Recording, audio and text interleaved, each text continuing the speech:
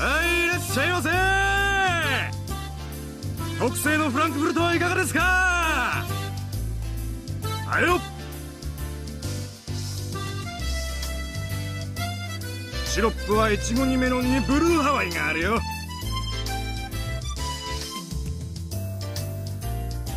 おみくじたこ焼きいかがですか？あたりにはマスタードがげっしり。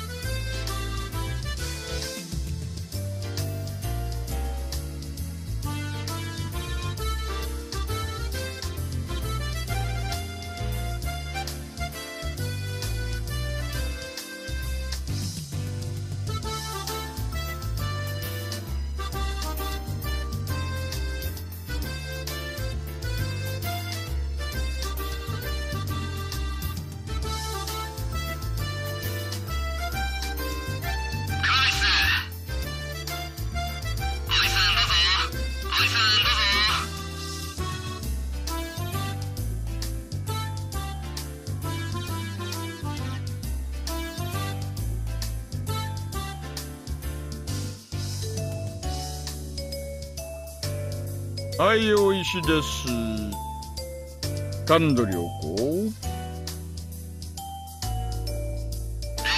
紹介の皆さんから差し入れをものすごいたくさんいただいてます。おでんに焼き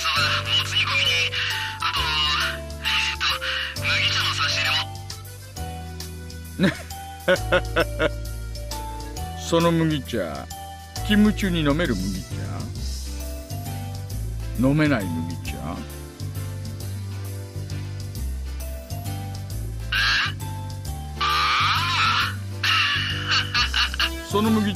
缶ならもらっといてくださいコップなら自体でお願いします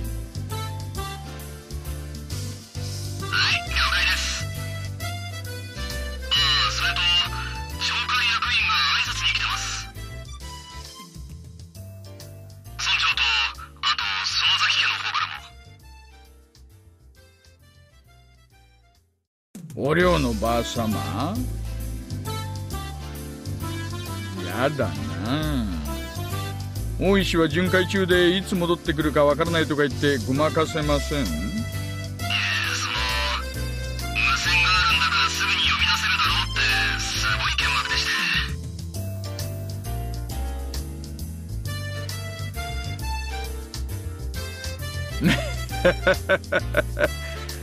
あんのばあさま死ぬ時は絶対脳梗塞ですね。了解了解すぐに戻ると丁重に丁重にですよ。お伝えください。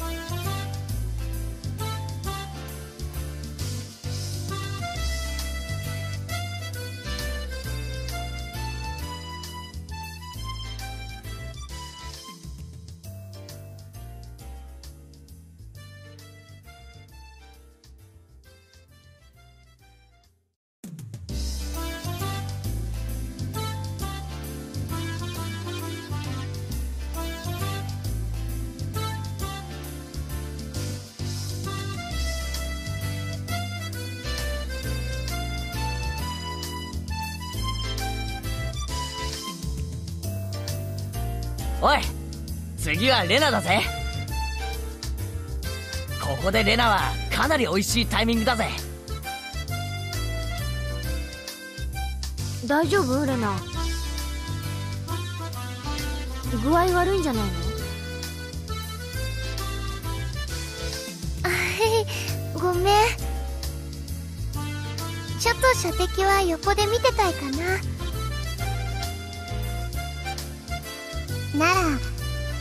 しないで休んでいるといいのです。ではレナさんを飛ばしてここでいよいよ真打ち。私の出番でございましてよ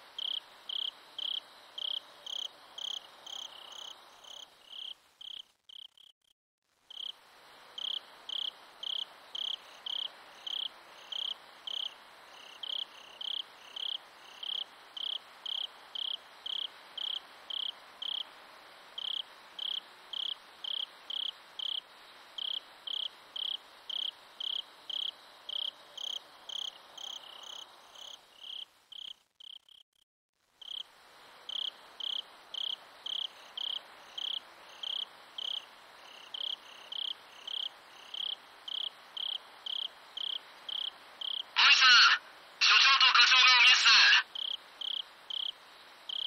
大至急お戻りになってくださいおいし了解地域のお祭りにまで挨拶に来るなんてうちの所長は地域交流に豆だな。沖宮の祭りに来たって話は聞いたことないのに。ああこちら高杉です。大石さん聞こえますか？どうぞ。どうぞ。はいはい大石です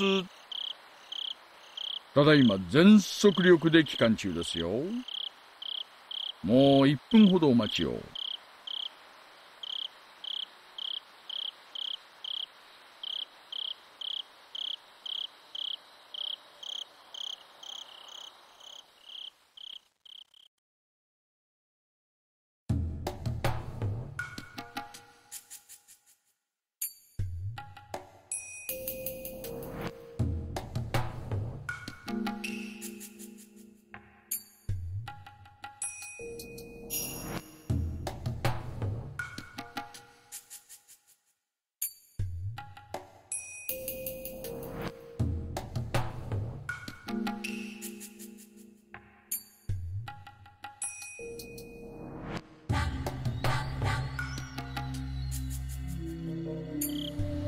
石さん先生が到着してます。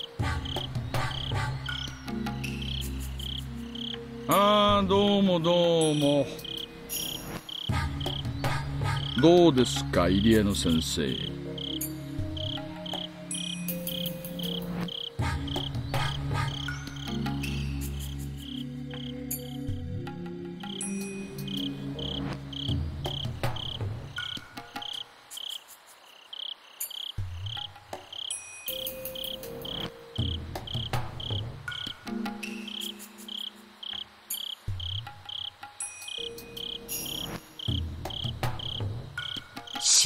られません。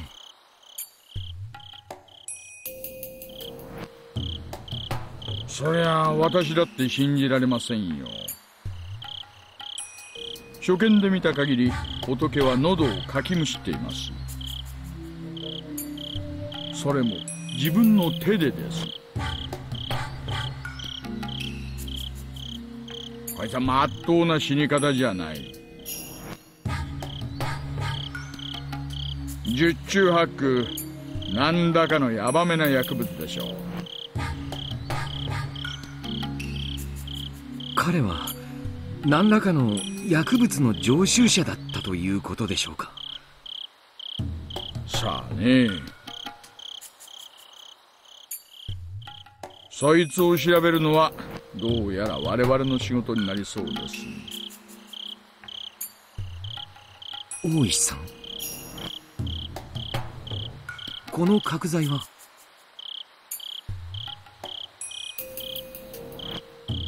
多分仏が振り回したんじゃないかと思います。で途中で捨てて喉をかくのが楽しくなっちゃったんじゃないかと。角材を何のために振り回したんでしょう？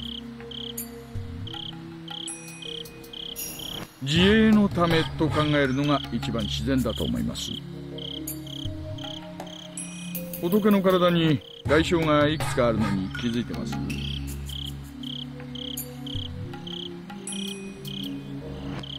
ええ。打撲傷を思わせる跡がいくつか散見できます。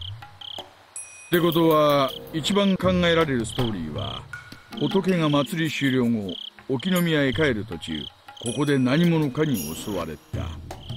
それで取り押さえられて怪しげな注射とかそういうのをされてその結果錯乱させられて死に至らし喉をかきむしるように誘導できる薬物なんて聞いたことがありません。私もそっちは専門じゃありませんが薬物中毒の一つに自傷行為ってあるらしいじゃないですか。まあその辺はうちの鑑識のじい様が調べてくれるでしょう。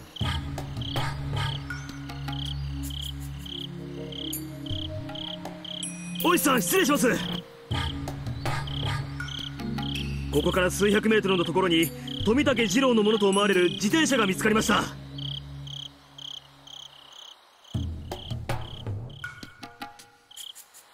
おそうですか。ありがとうございます何か手がかりとかは？いえ初見では特には。今鑑識が言っています。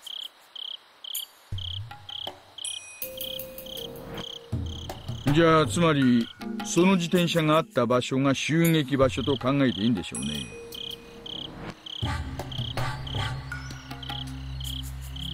それで戦ったり逃げたりしてここまで来たう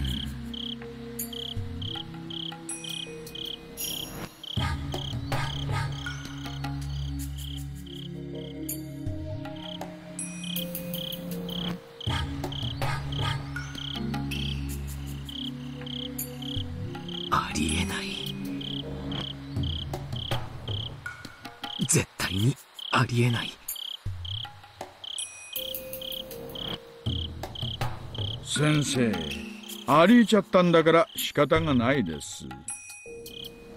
発想を柔軟にしましょう。まあ先生でもこんな死体はなかなか見慣れてるものじゃないか。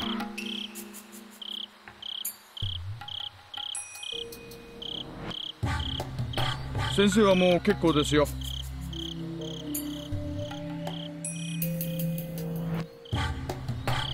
お帰りになられて十分休んでください。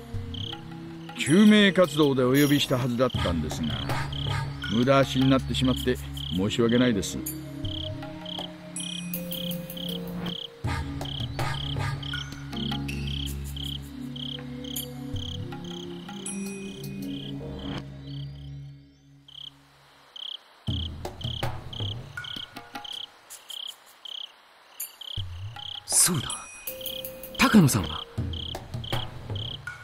野さんはどうなったんです？え？おおお宅の看護師さんの？多分富武さんと一緒だったと思うんです。高野さんは無事なんですか？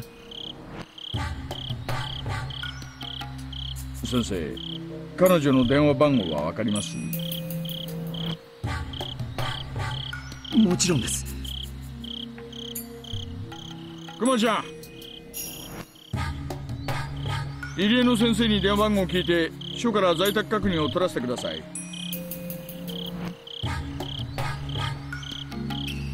了解っす。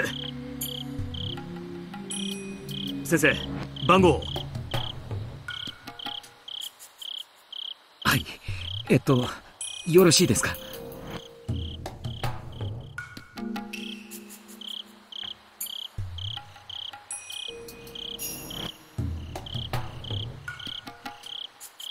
先生。高野さんと仏は確か親しい仲でしたよね。ええ。何かトラブルがあったとかそういうのは聞いたことがあります？まさか。聞いたことないです。仲のいい二人でした。何事もなけりゃいいんですがね下手すりゃ仏か。それとも星か。うんなるほど。看護師なら怪しげな薬物を取り扱えてもおかしくはないです。そんな薬品はうちの診療所にはありませんしあったとしても厳重に保管されています。高野さんに持ち出せるわけがない。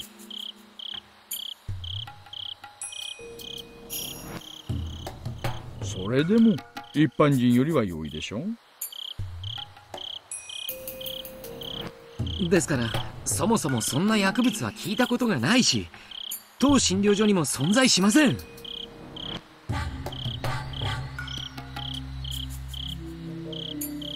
大石さん留守のようです。署の待機組の方で直接訪問すると言ってます先生。すみませんが高野さんの住所を教えてください。熊ちゃん。それプラス県警に今夜出た身元不明の女性死体がないか確認を取ってください。あるいは県外の可能性もあるんだ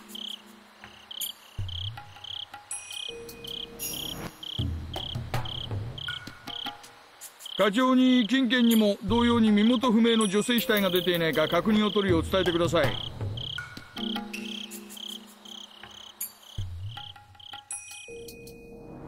了解っす。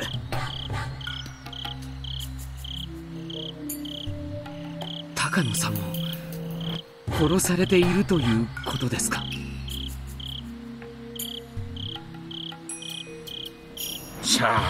ふんまだ外車とも星とも決まったわけじゃありません。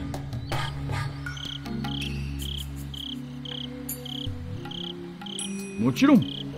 無関係って可能性だって残ってます。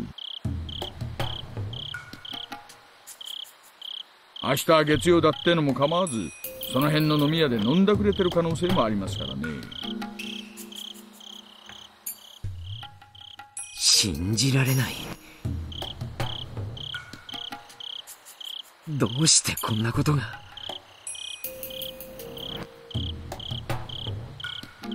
まあ私だって信じられないです。ひなみ沢村連続開始事件。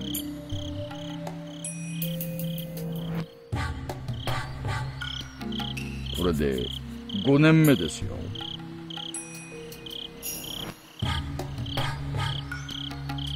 お社様のたたりが5連続ってことになっちまいます。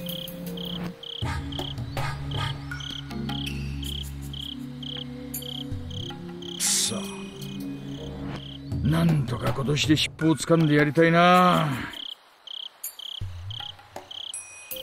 定年前にこの山だけはなんとか片付けたいんです。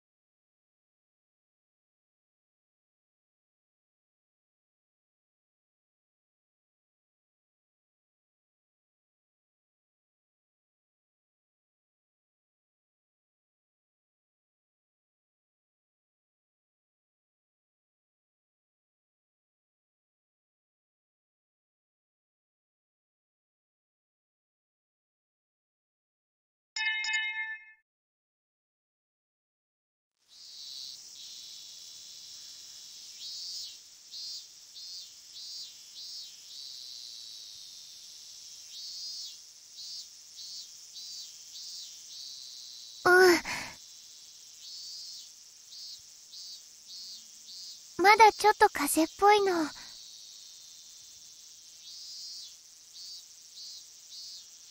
そうでございますの。それは残念ですわね。なあレナたまにはパーッとはしゃいでみないか？多分元気に遊べば吹っ飛ばせると思うんだよ俺は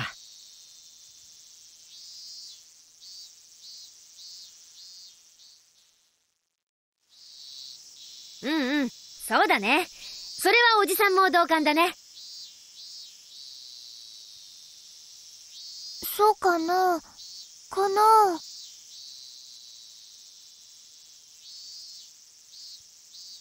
横になっている方が、かえって毒になることもありますです。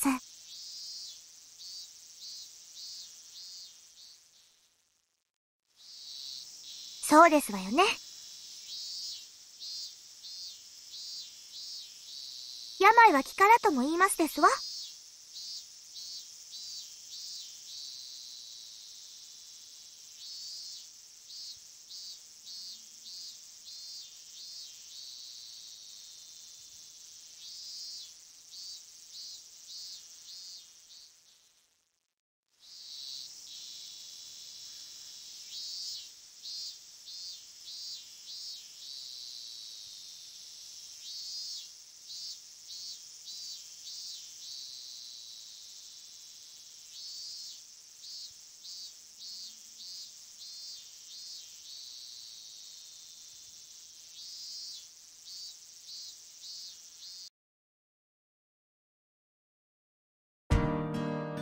し。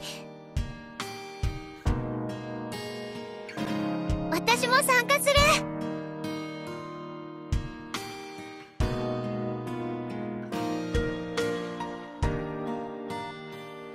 オッケー。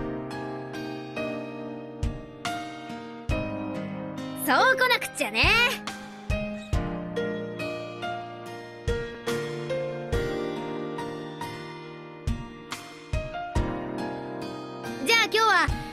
病み上がりも少し加味してテーブルゲームから種目をチョイスしよう。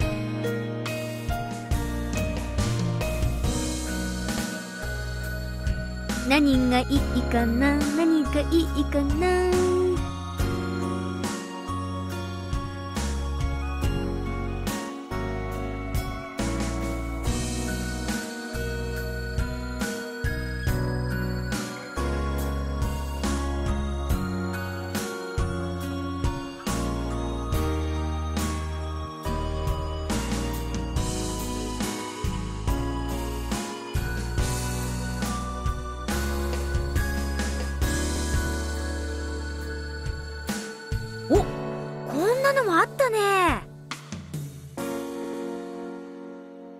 しぶりにやってみようか。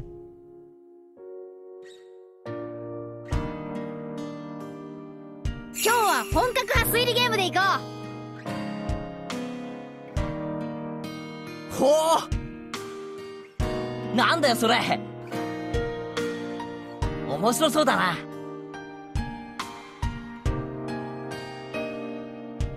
えっとね犯人と凶器犯行現場の3つを当てるゲームなの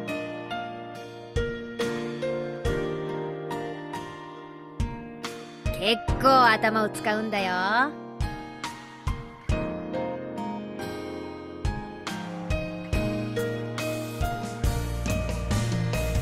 一度やればすぐに覚えてしまいます。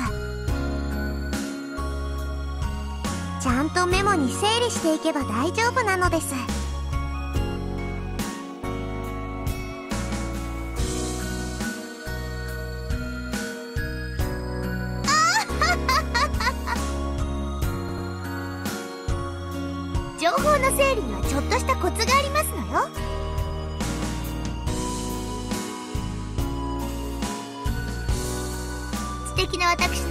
得意とするジャンルでございますわね。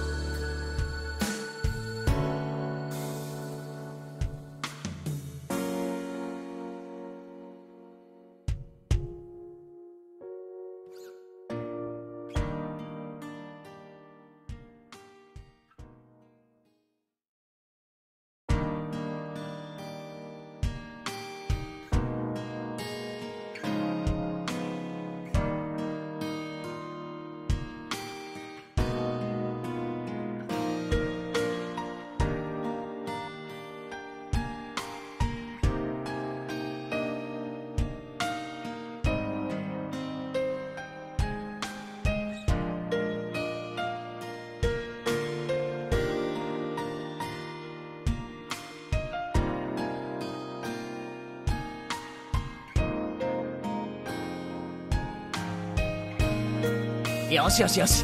なんだか面白くなってきやがった。やろうぜやろうぜ。レナ今日こそ曖昧になってる。あの水鉄砲勝負の時の白黒をつけてやる。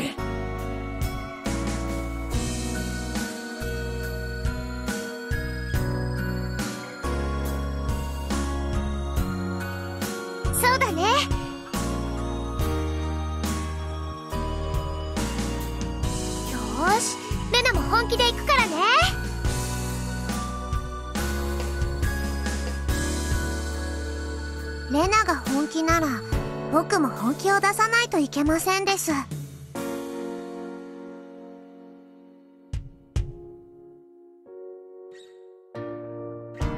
ですわね。あの水鉄砲の一件以来ケイチさんとレナさんの評価を改めましてよ。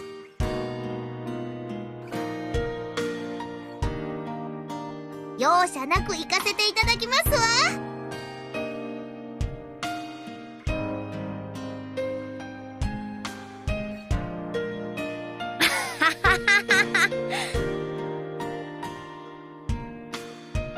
よしよし盛り上がってきたね。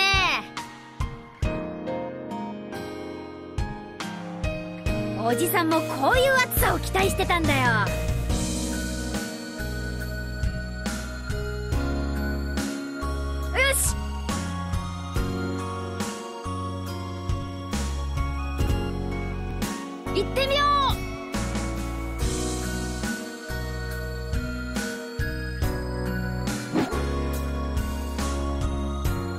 行くぜ。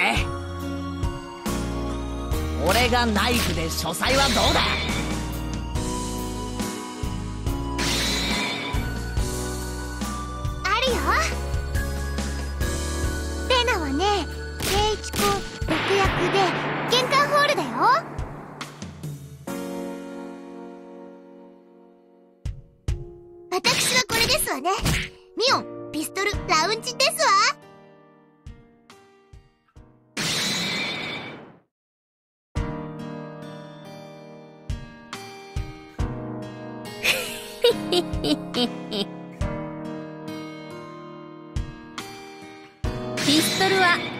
あんたが持ってるんでしょ？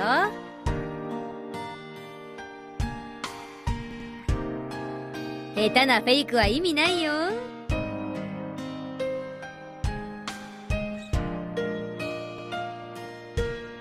犯人と凶器は特定できたと思います。犯行現場が2択なのです。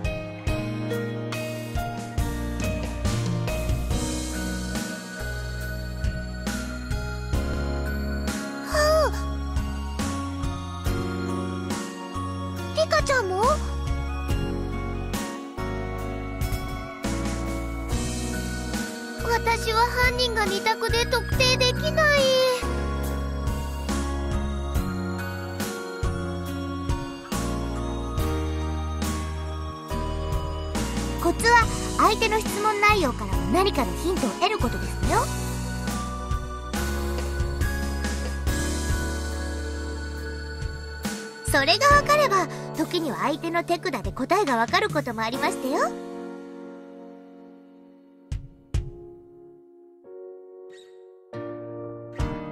ななるほどな。くそ甘く見てたか。やべえメモがぐちゃぐちゃで意味がわからなくなった。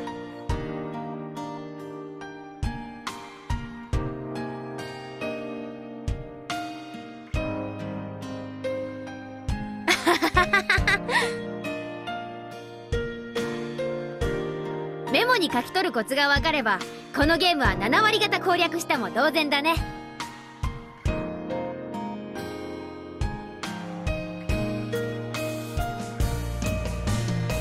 ま7割程度じゃおじさんには勝てないけどさ。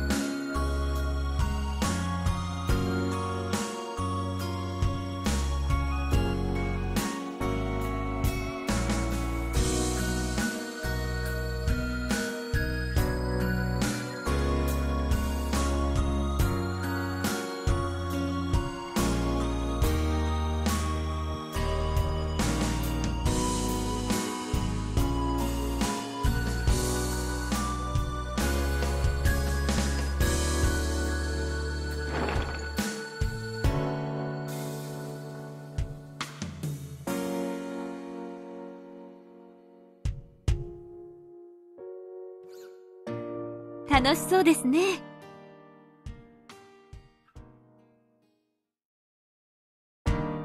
ところで竜宮さんはいますか？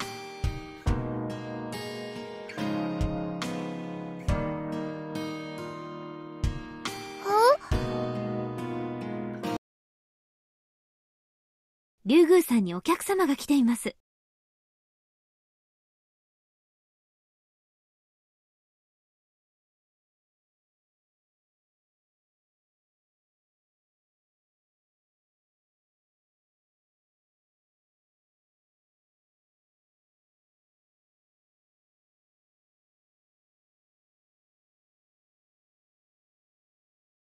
ろう。ちょっと行ってくるね。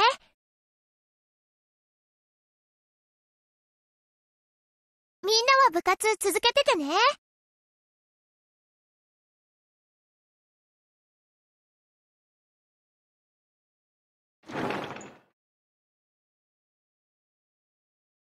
どうする？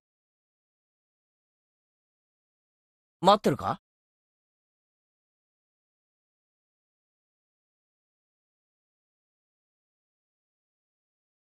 うーん。どれだけかかる用事かわからないからね。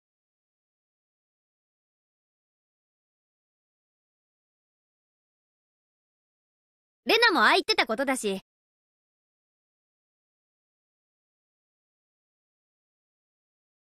私たちは続けようか。ああ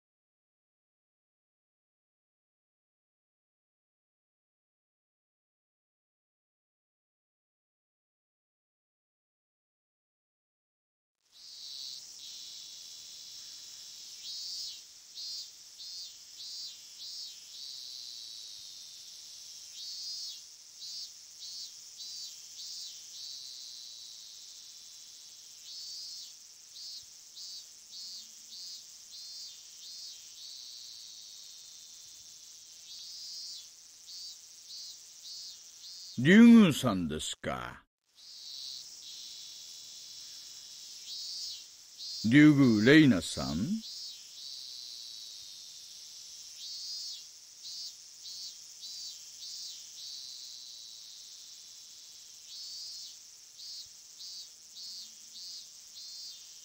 そうですよ。どちら様ですか？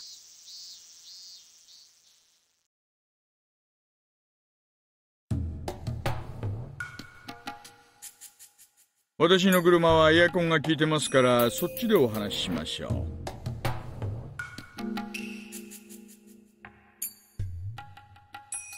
ここ暑くありません？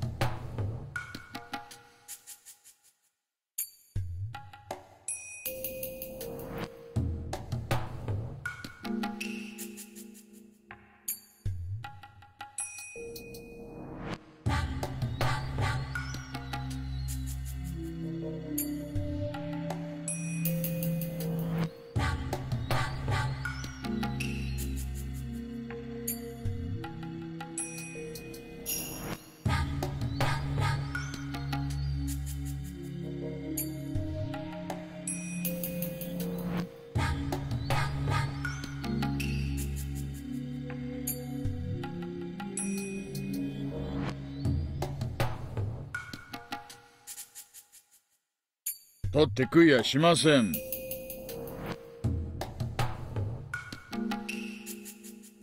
どうぞどうぞ。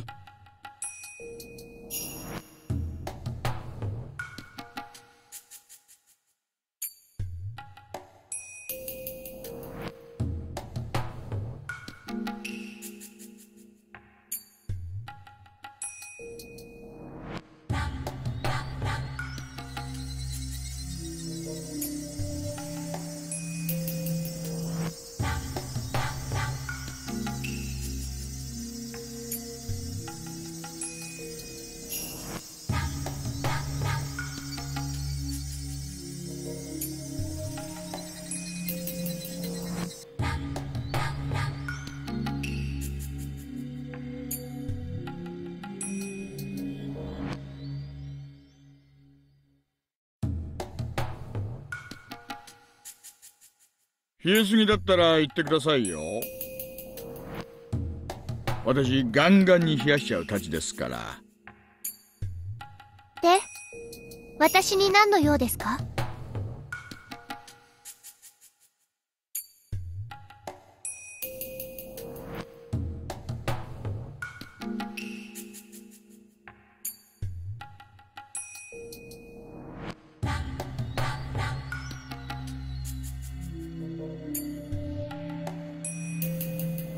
男性のことでご存知のことがあったら教えてください。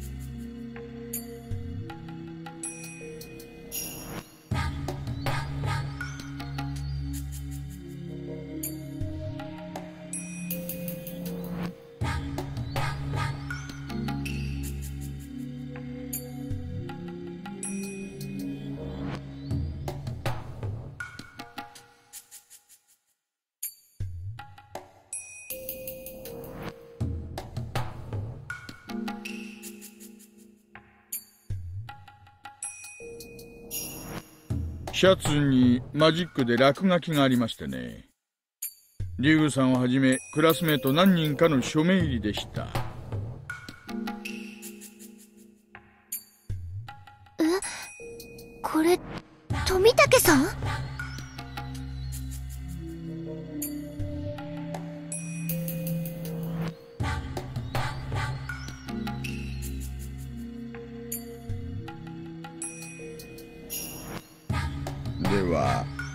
らの女性はわかりますか？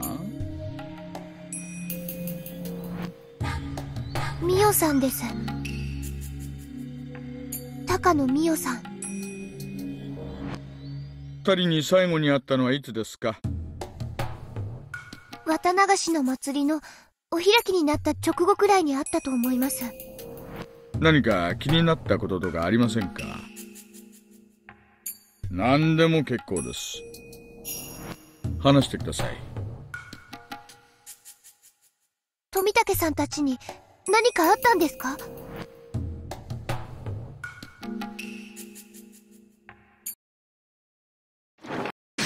っしゃ！ー取った！実はよレナとミオンで二択だったんだよな。じゃあ博打だったんですの？なんてリスクのあることを。それでも勝ちは勝ちなのですよ。おレナだ。おかえり。ずいぶん時間かかったね。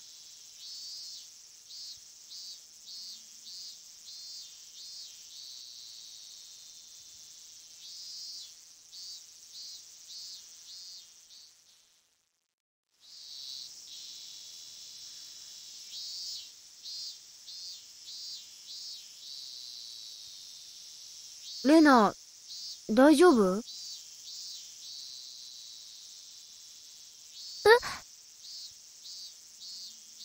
何？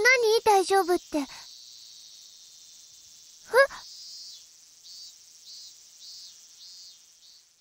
いや、顔色だよ。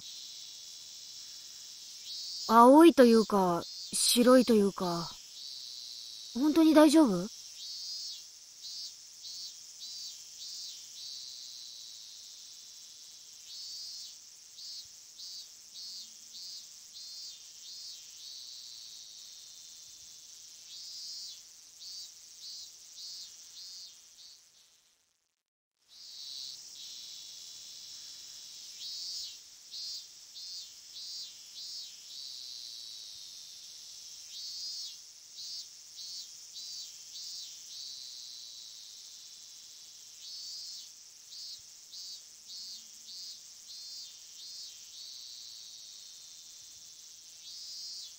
まあ仕方ありませんわね。ではせめて私たちの白黒ははっきりさせようじゃございませんの。そうだね。えーと、次は誰の番だっけ？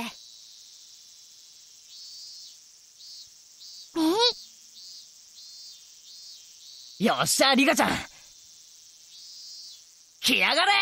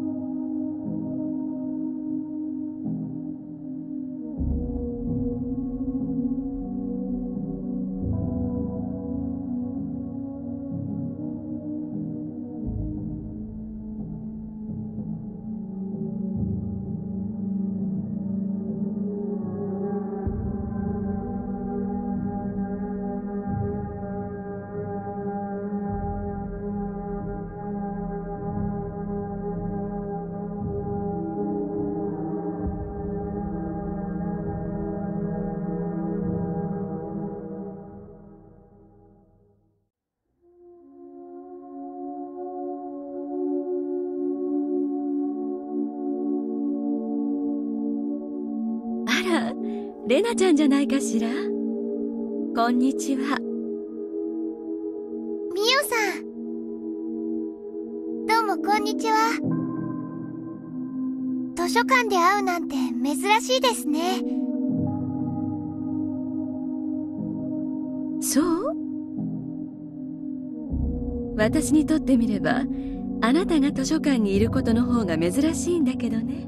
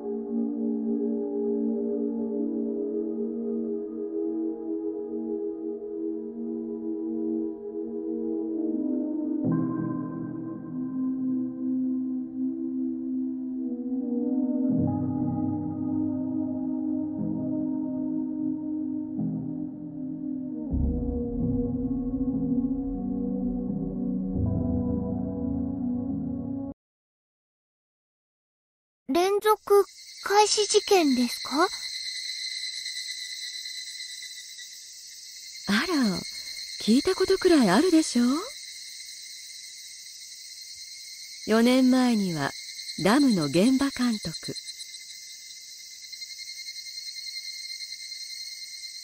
3年前には北条夫妻。2年前には古出夫妻。そして去年は聡子ちゃんのおばが犠牲になったひなみ沢村連続開始事件よ。それがあと何日かで5年目を迎えるじゃない？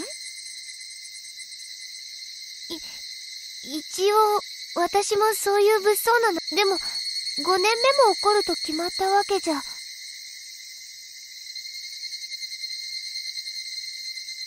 怒るわよ絶対にね。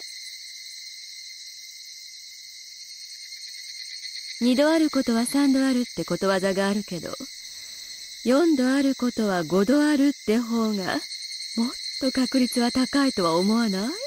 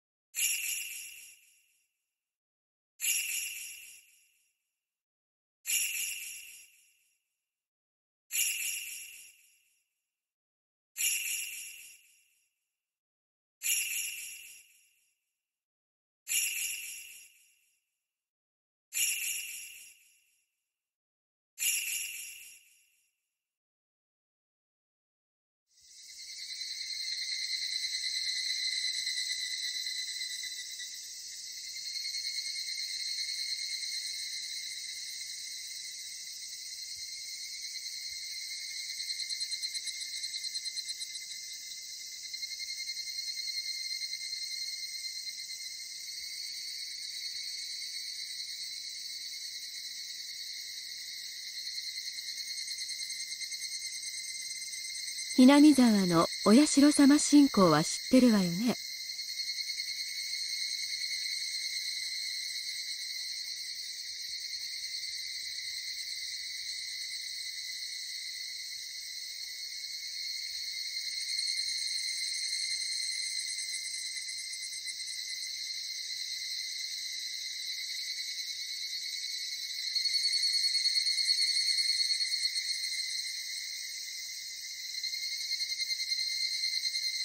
つまり、ミオさんの説によるならば、連続開始事件は、お社様を崇拝する信心深い団体がひなみ沢に潜んでいて、お社様の力を世に示そうとしている、ということなんですか？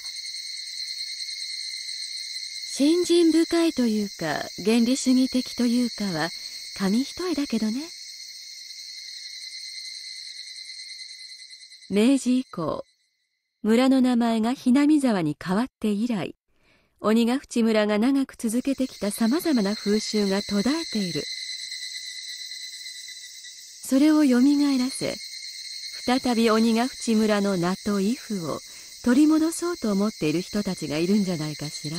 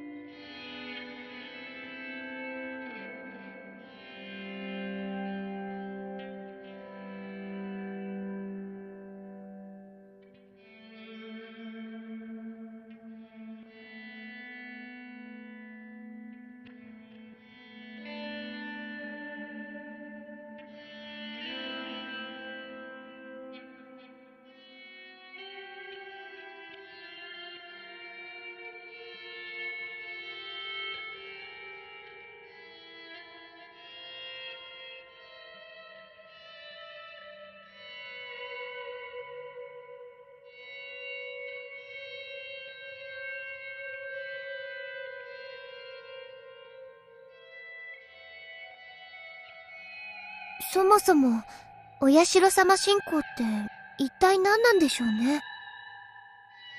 鬼と人が共存というのも面白い話です。普通の昔話だったら、鬼が来たら退治してやっつける？という風なのに。そうねそのあたりがお社様信仰の面白いところね。でもそもそも神の国から神が漂着してきて崇められるというのは決して珍しいことではないのよ。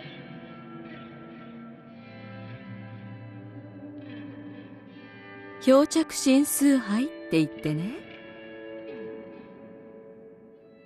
世界中に海の向こうからあるいは川上から神が漂着してきてそれを人々が敬ったという類の神話が残さそれは偉人漂着の話でしょうか？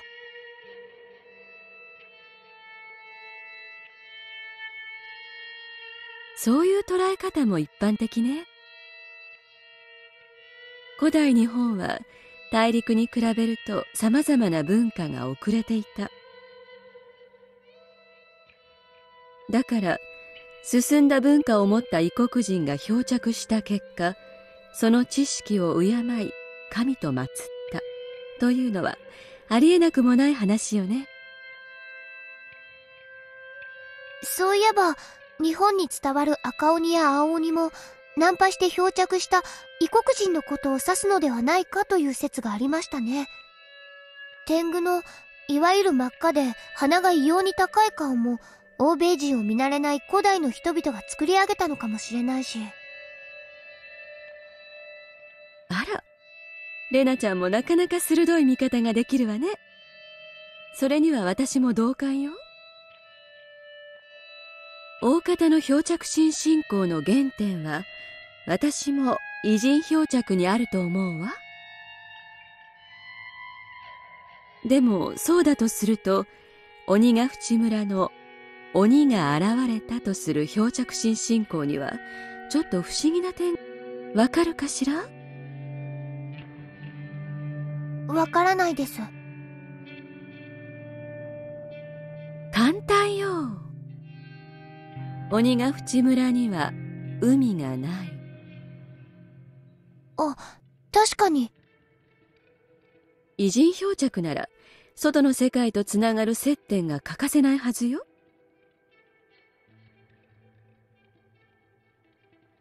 欧米なら異国に通じる川。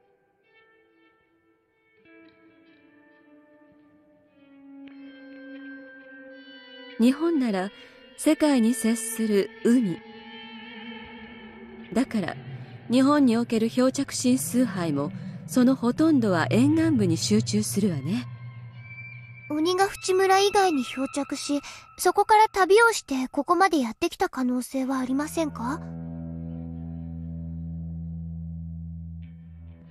ところがお社様信仰の決定的なところは鬼が漂着した場所を鬼ヶ淵沼とはっきり特定している点なの。鬼ヶ淵沼には何も流れ着かない。そんなところになぜどこから漂着したのか。実はこの辺にお社様信仰の謎を探る面白さがあるのよ。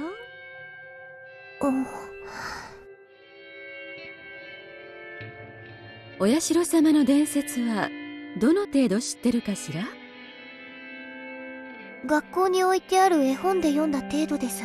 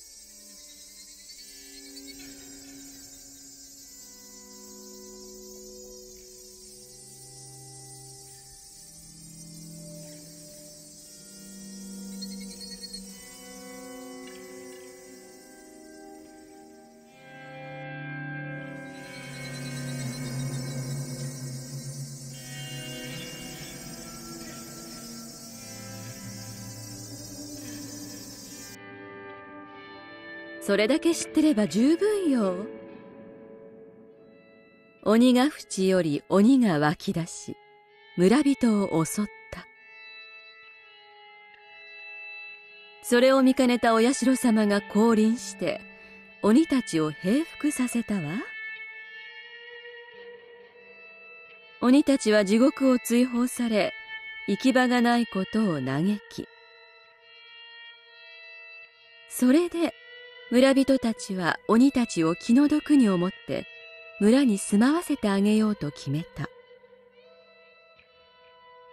そしてお社様は村人たちの心に感銘を受け鬼たちに人の姿を与え村に共存させその血は次第に交わり村人たちに溶け込んでいった。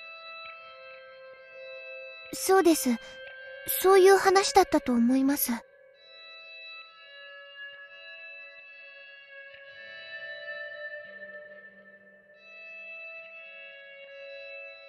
神話の多くは古代の何らかの事実を原型にしていると言われることが多いんだけどレナちゃんはこの神話から何を読み取れるかしら？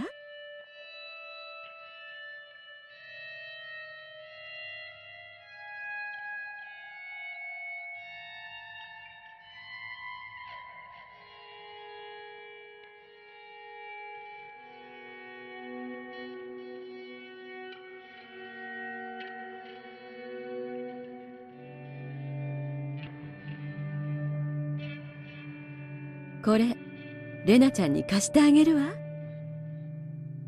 あありがとうございます。でも私。いいのよ。暇な夜長にでも思い出したら読んでくれれば結構。レナちゃんは鋭いところがあるみたいだからそれを読んだ上で今度じっくり議論を交わしたいわね。私も肯定的であれ敵対的であれ議論の相手がいなくて寂しいのよ。二郎さんこういうのにはさっぱり興味のない人だし。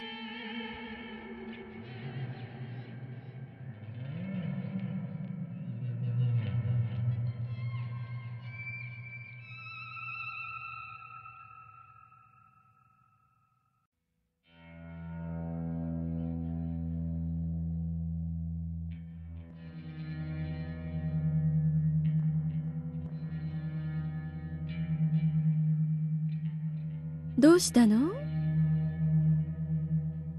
さっきからうつろね。体調悪いの？あちょっと夏風邪気味ね。まだ病み上がりなんです。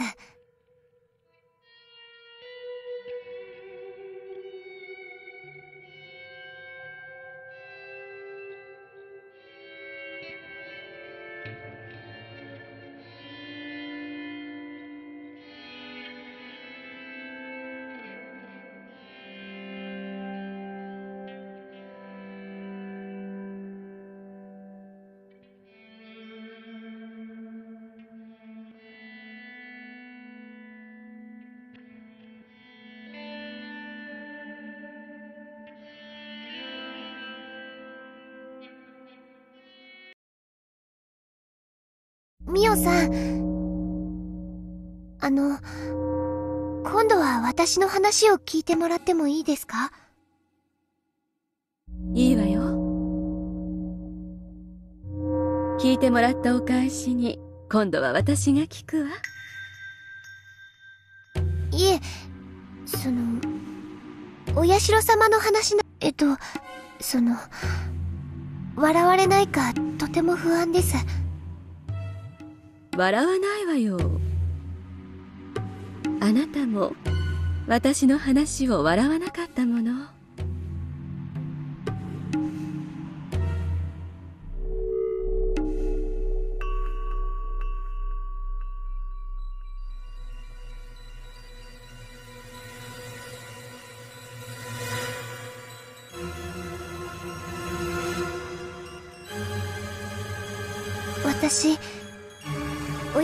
様に会ったことがあるんです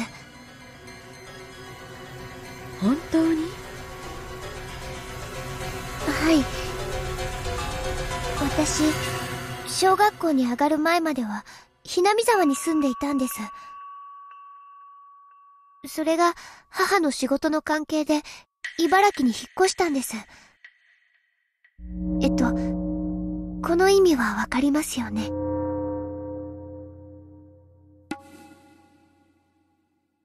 わかるわよ。稲見沢を離れてはならないというお社様の禁忌に触れたということね。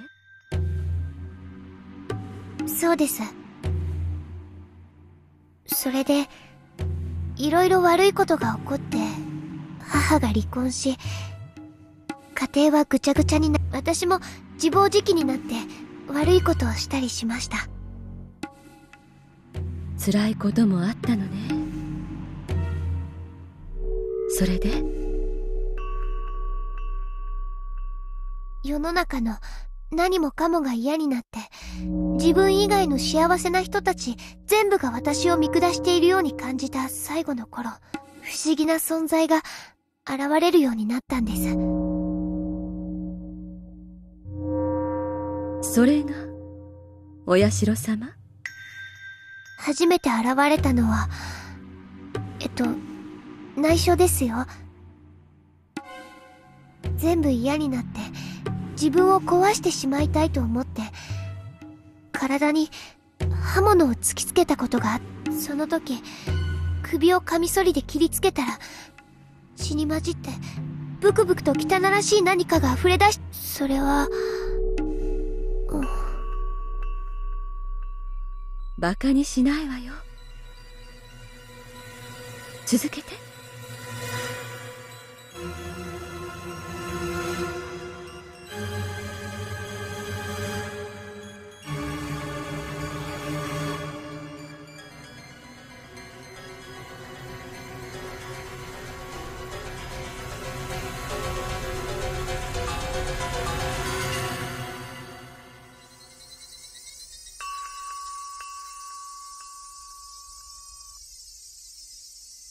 赤黒い無数の何か。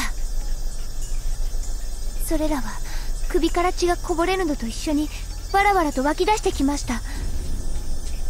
しかもそいつらは外へ溢れまいと傷口から再び中へ戻っていこうとわらわらわらわらって。私そんな気持ち悪いのに体内に戻られたくなくって書きました。首の傷を引っかいてほじくり出そうとしました。でもそれ以上は痛くて血まみれになるばかりで。それで私は急に怖くなりました。私の体の中には血管いっぱいにあの気持ち悪いのがぎっしり詰まってるんじゃないかって。それで私は試しにカミソリで股の血管を開いてみました。そこならよく見えると思ったから。そしたら溢れてきたんです。ドバッとわらわらっと。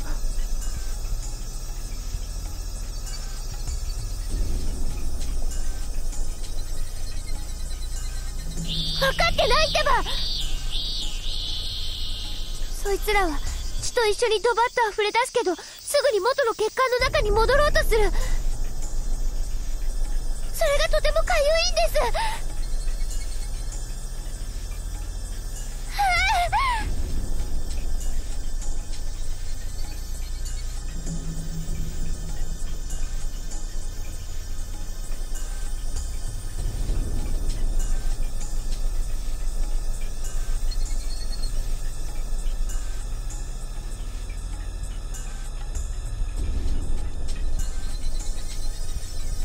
血管の中のやつをやっつけて血を全部抜いてきれいにして。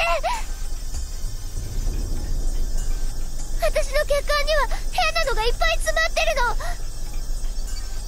うして信じないの？見せてあげるから。見れば信じるでしょ？もう注射は嫌。いやいやいやいや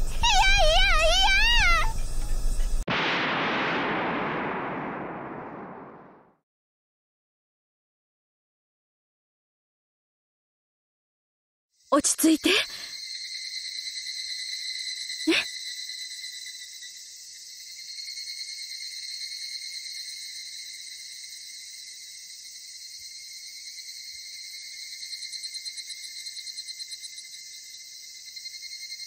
それで、どうしたの？そんな、誰も私のことを信じてくれない時に、お社様が、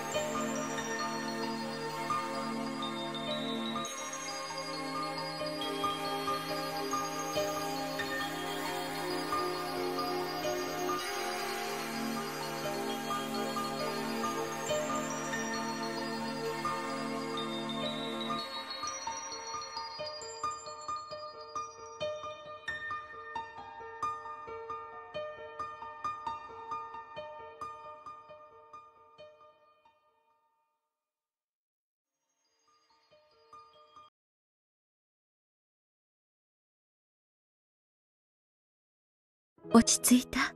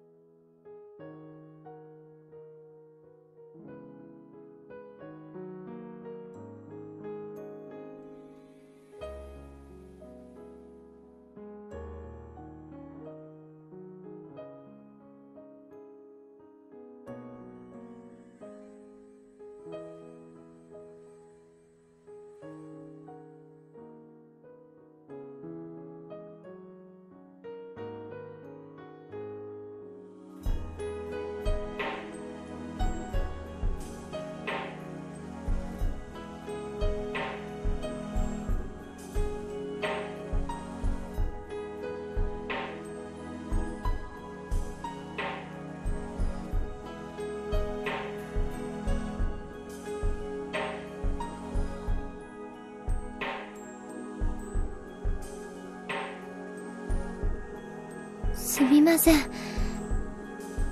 私だいぶ取り乱してました。小声で何かつぶやいてたわね。落ち着いたならよかったわ。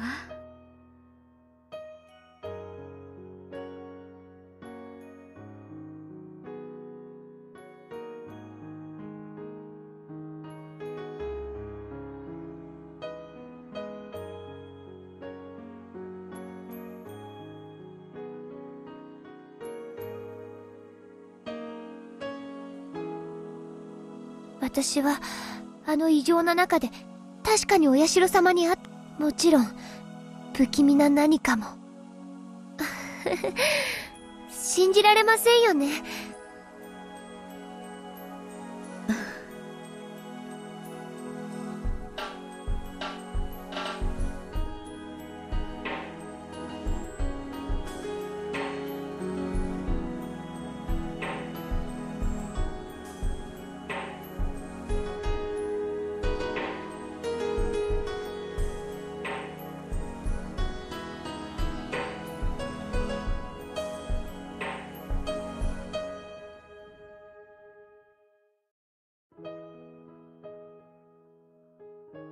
レナちゃん？まず一つ安心してほしいの。はい。レナちゃんが怖がっているタタリ。つまり血の中にいたという変なもの。それはお社様が言うにはひなみ沢にいる限りは大丈夫なんでしょええそう言ってました。なら怯えることはないじゃない。安心して。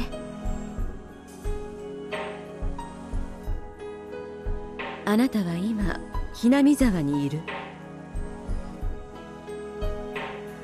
まあこの図書館は沖宮だけどこのくらいの距離ならお社様も許してくれるわね。血管の内側に何かが騒いでいるなんて感じないでしょ？それははい。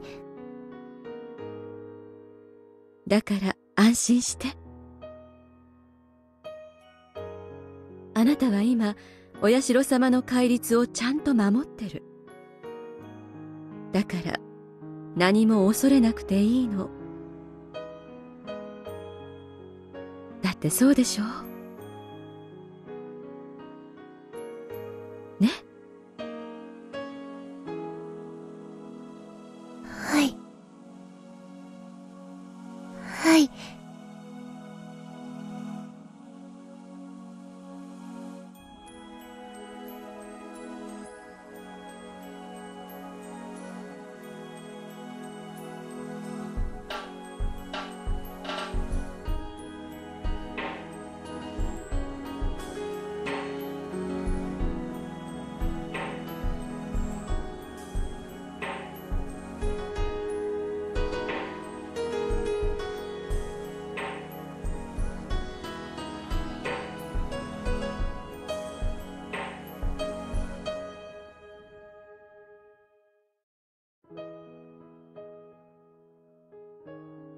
レナちゃん？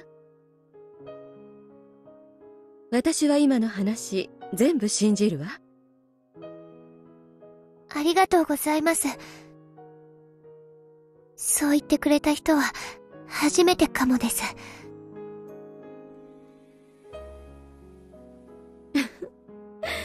それは私も同じよ私の話をバカにしないでちゃんと聞いてくれた人はあなたが初めて私たちいい友達になれそうね。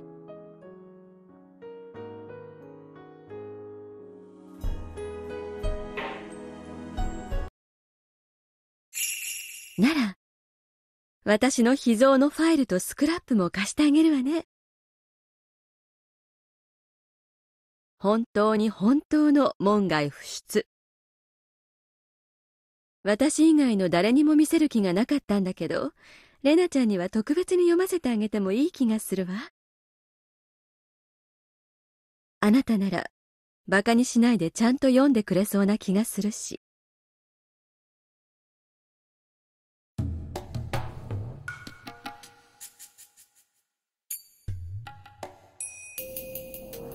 ぜひ読んで感想を聞かせてね。あるいはひょっとすると。レナちゃんにしかわからないことなのかもしれない。